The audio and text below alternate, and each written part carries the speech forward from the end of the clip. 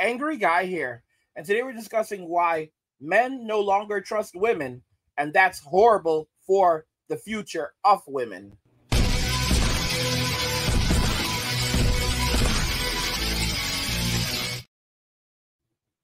Men no longer trust women, and that's horrible for the future of women.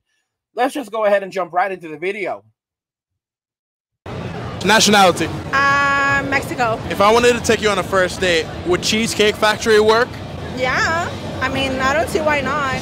What would be an absolute deal breaker? Nothing really. I mean, just going on a car, cruising around, that's fine with me. Like, I don't mind. I don't need to be taken to an expensive place. Like, none of that matters to me. A real woman doesn't care about that. I look for it's not money, it's loyalty and, you know, respect more than anything. But so many women now in 2023 say $500 minimum. I've always say this. There's men that are cheaters. There's men that look for specific things in women. Like there's women like that as well. There's women that just are with certain men for money, for certain things, and you know that doesn't mean that every man or every woman is the same. You just got to find the right one. So she says some very interesting things, and you know she seems like a decent person. However, unfortunately, the trust is gone after MeToo, MeToo, as I said before, was the final nail. It was the final nail, and that's it. The relationship between men and women has expired. It is no longer of this world. It will never return in Western society.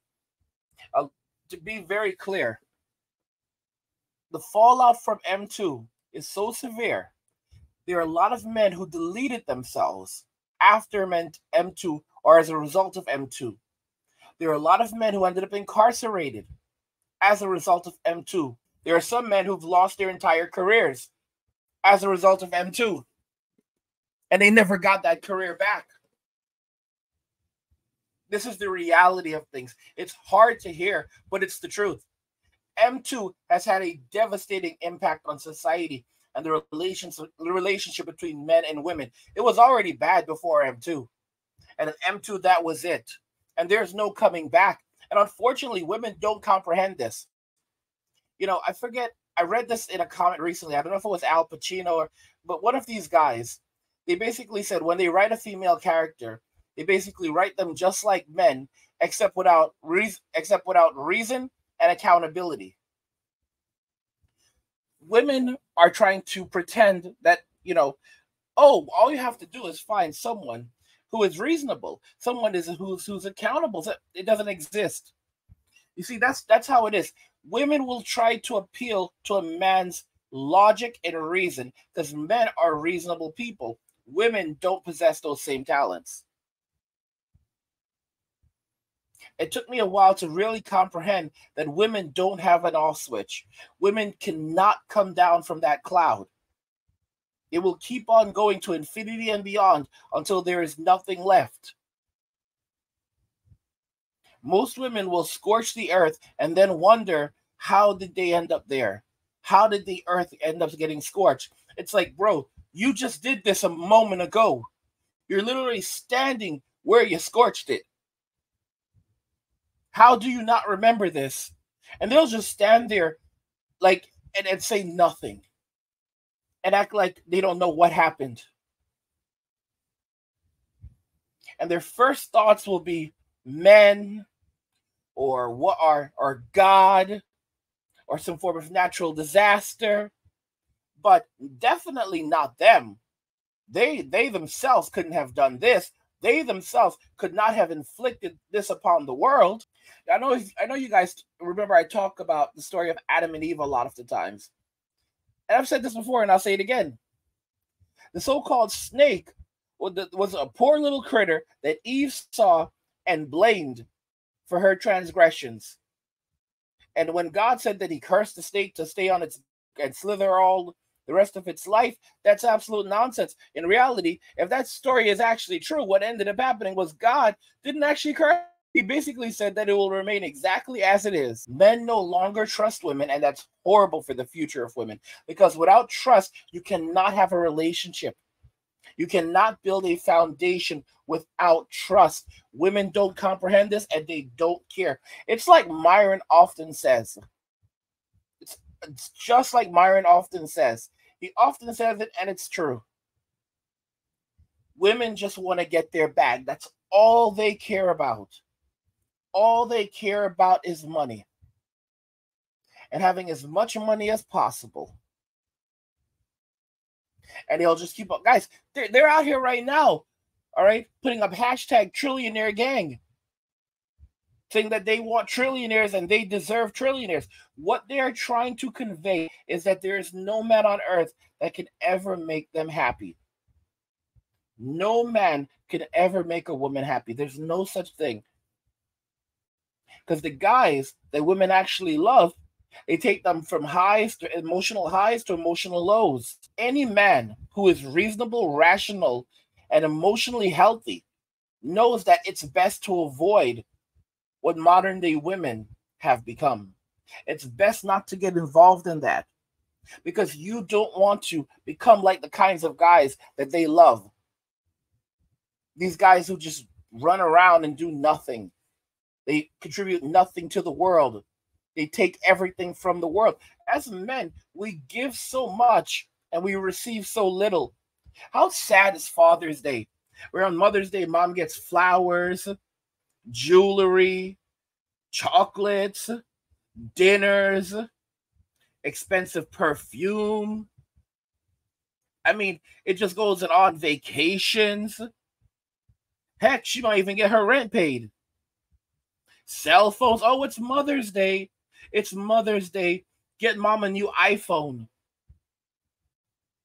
When Father's Day rolls around, they don't even call it Father's Day anymore. They say dads and grads.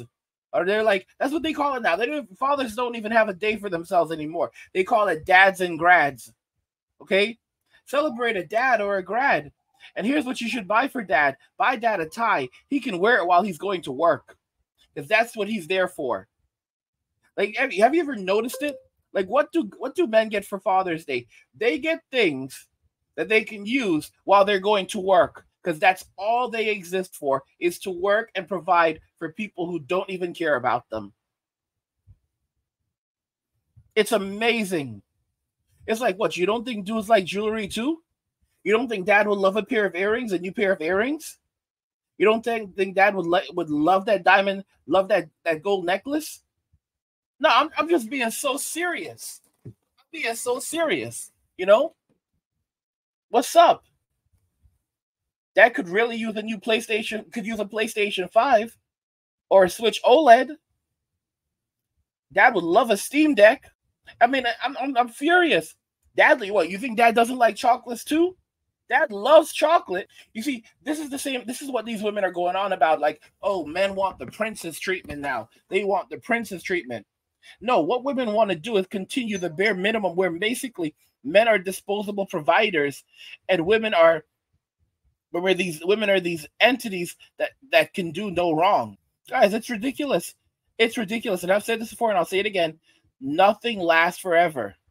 Nothing lasts forever without I've said this before and I'll say it again. A country without its men is not a country, it's a wasteland because it's open and ripe for the pickings. It's open and it's ripe for the pickings. Whenever a crisis breaks out in a country, they allow the women to flee and they and they say and they say that the men 18 years and older, sometimes 17, are not allowed to leave the country.